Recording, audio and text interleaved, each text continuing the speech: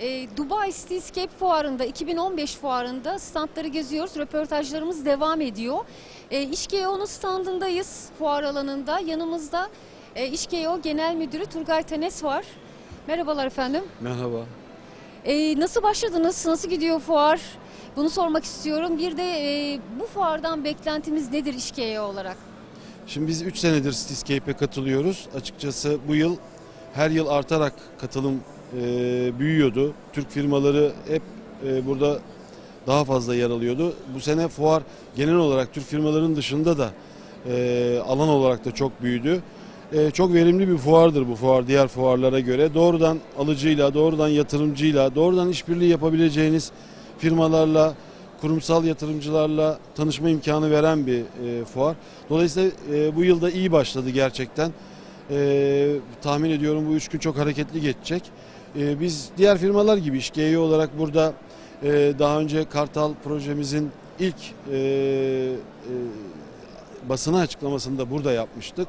O günden bugüne satışlara da başladık. O arada İstanbul Gala projesinde biliyorsunuz satışlarına başlamıştık. Biz bu burada açıkçası yabancı yatırımcının ilgisinden de memnunuz. Şu anda daha bugün saat 10 itibariyle başladı ama e, ciddi bir kalabalık var ve projelerle ilgili İstanbul'la ilgili veya Türkiye'de bazı şehirlerle ilgili çok ciddi e, sorular, çok ciddi bir merak olduğunu da görüyoruz.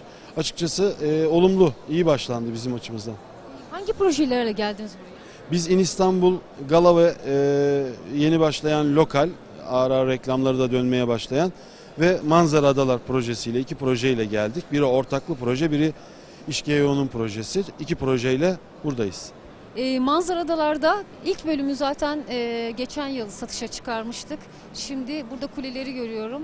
E, ikinci etap da burada satılmaya başlandı mı? E, geçen yıl Aralık ayı sonunda yani e, esas e, başlaması Aralık ayı sonunda reklamlarla başladı.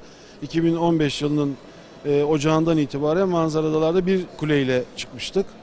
E, şimdi e, önümüzdeki günlerde yeni üniteler e, farklı e, yaklaşımlarla, farklı mimari dizaynlarla birlikte e, diğer kulelerimizi de satışa çıkaracağız. Önümüzdeki günlerde bununla ilgili hem televizyonda hem e, yazılı medyada göreceksiniz. Ama ilk olarak buraya getirdiniz. Ee, Önce Evet. burada göreceğe çıktı Evet, diyelim.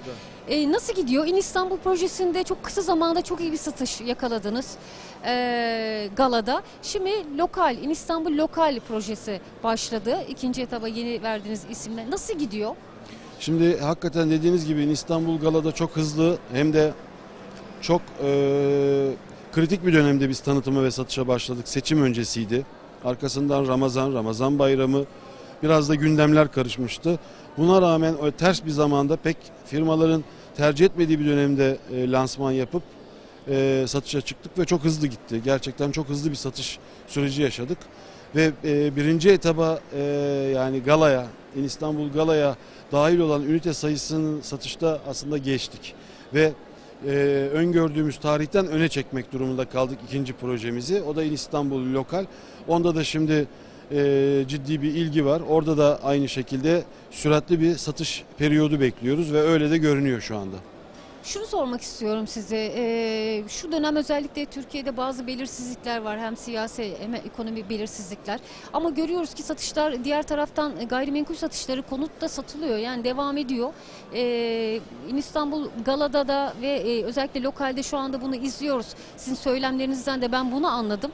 Ee, bundan nasıl bir sonuç çıkarmamız lazım? Yani e, gayrimenkul konut sektörü e, siyasetten etkilenmiyor mu? Belirsizlikten etkilenmiyor sonucunu çıkartabilir miyiz? Ne düşünüyorsunuz?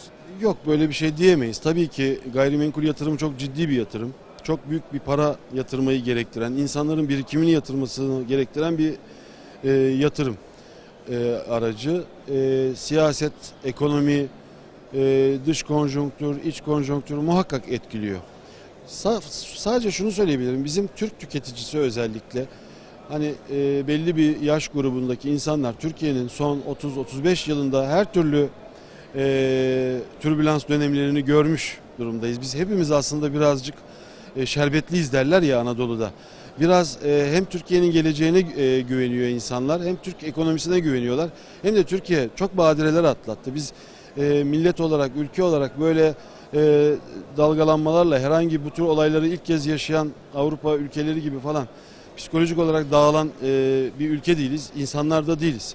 Bir yanıyla e, tabii ki e, bir kısım tüketici frene basıyordur, bekle gör yapıyordur. Belki bu satışların çok daha üzerine çıkacaktık. E, tüm sektör olarak. Belki bu olaylar ancak buraya kadar e, frenledi. E, ama bir diğer yönden de baktığınızda tüketici eğer e, bir eve ihtiyacı var ise veyahut da konjonktürü birazcık sıkıntılı görüyorsa sağlam bir yatırım aracı olarak da görüyor olabilir. Yani hangi seviyeden dövize gireceksiniz? Ben şimdi size sorayım. Şu anki seviye doğru mudur değil midir? Siz bana sorsanız ben de bir şey diyemem. Hangi seviyeden e, borsaya gireceksiniz? Hazine bonosu mu almalısınız? Faizler artar mı çıkar mı düşer mi? Bilebiliyor musunuz? Bilemiyorsunuz ama gayrimenkul sağlam bir yatırım. Elinizle dokunabildiğiniz, oturabildiğiniz, kiracı bulmakta sıkıntı çekmediğiniz. Çünkü dinamik bir ülke. Göç, göç alan yani şehirler arasında hala göç olan bir e, ülkedeyiz.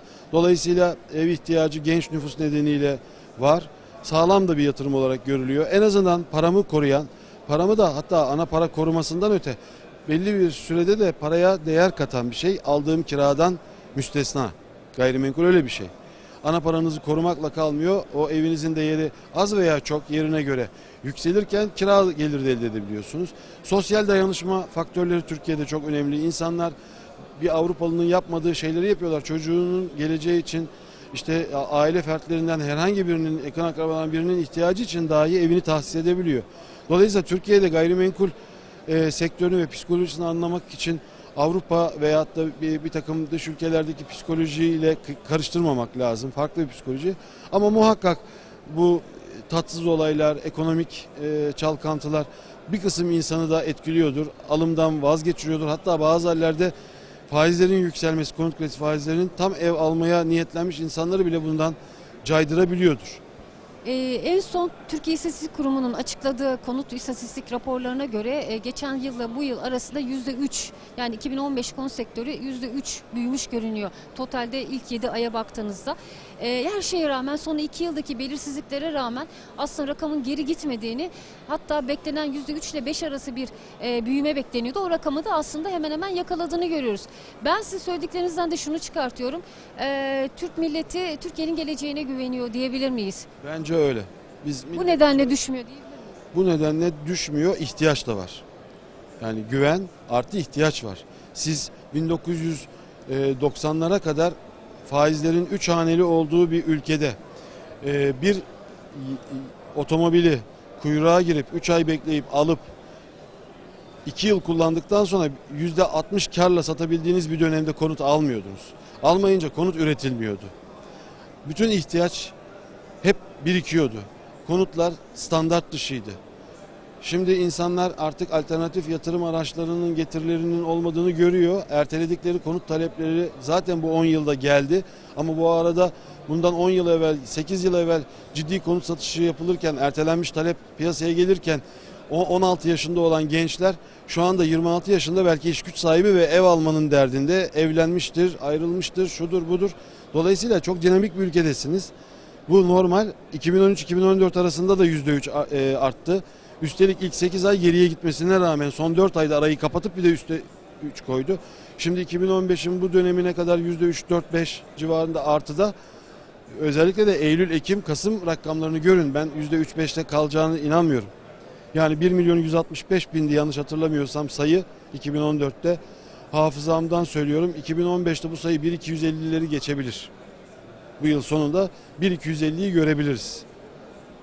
Peki. Çok teşekkür ediyorum. Başarılar. Sağ olun.